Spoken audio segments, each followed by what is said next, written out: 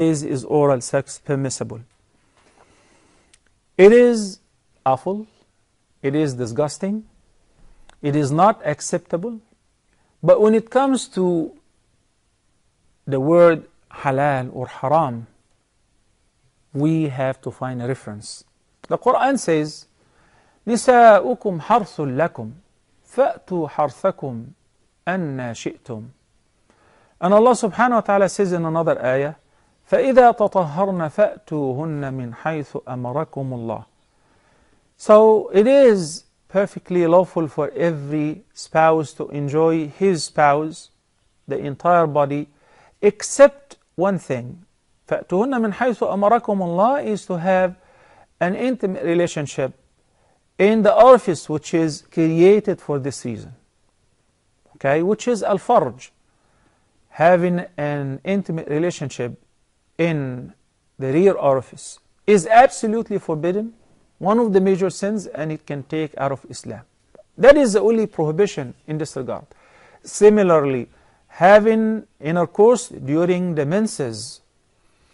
ويسألونك عن المحيض قل هو أذى فاعتزلوا النساء في المحيض ولا تقربوهن حتى يطهرن فإذا تطهرن فَأْتُوهُنَّ مِنْ حَيْثُ أَمَرَكُمُ اللَّهُ Which means, they ask you concerning the ministration. Say it is adha, harmful, because of the blood that carries germs and so on, the blood of the menses. So whenever there is blood flow or whenever the woman is experiences the monthly period, you should avoid having an intimate relationship with your spouse in this condition until she is in a state of tahara.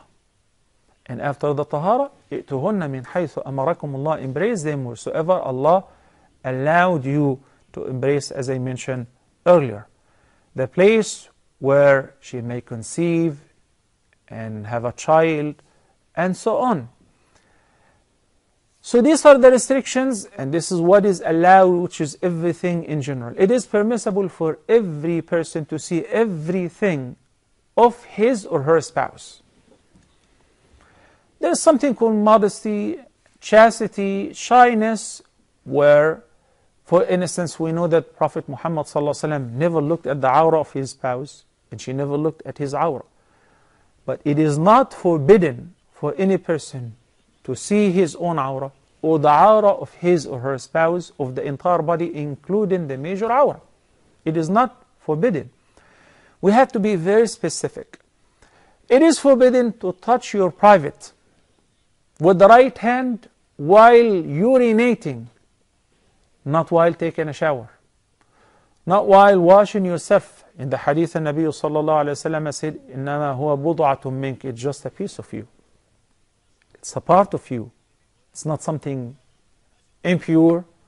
But one hadith requires that if you touch your private with your palm, then you have to make wudu. Another hadith says it's just a piece of you. So a combination of that indicates it is permissible to touch your body and your private as long as you're not touching your private while urinating or answering the call of nature with the right hand. Okay? So, which means that doesn't apply to touching the private of the other. I know that this is a very sensitive subject, but you cannot imagine how many questions we get in this regard. Uh, I cannot bury my head in the sand and say and act blind and neglect it because these questions are from the youth. In America, a college student just asked me straightforward question, and she was a girl. Is oral sex halal or haram? It is easy to say haram. Can you support that with a proof?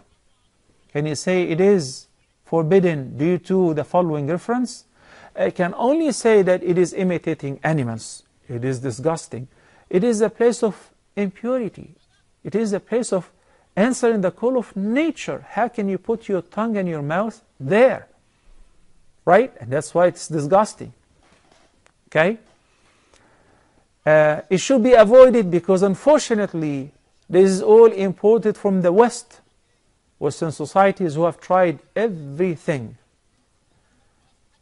When they are done and finished with women and having even the worst kind of intimate relationship, which is forbidden and it leads to kufr, okay, they went to have sexual relations with the same gender, homosexuality. And when they're done with that, they moved on to animals.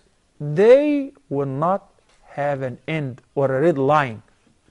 Why? Because uh, Allah subhanahu wa ta'ala says, وَمَنْ أَضَلُّ مِمَّنِ اتَّخَذَ إِلَهَهُ هَوَاهُ Who is more astray than one who has taken his hawa, his lust or desire, as his own God? In a sense that whatever he desires, he does. Whatever they crave for as a lust, they do. Nothing is haram or restricted. And the widespread of the STDs, sexual transmitted diseases, is simply because of that. Uh, mouth cancer, billah, throat cancer. Think about it. The place of urination and the place of answering the call of nature the place which is full of microorganisms, which are normal flora for this place. But it is not normal flora for the mouth, for the tongue. The tongue which says Subhanallah, the tongue which glorifies the praise of Allah, the tongue which recites the Quran. So should it be avoided? Yes, it is recommended to avoid that. This is not our tradition. But again, I cannot tell you it is forbidden because of a straightforward reference. I hope this answer is very clear. Barakallahu fikum.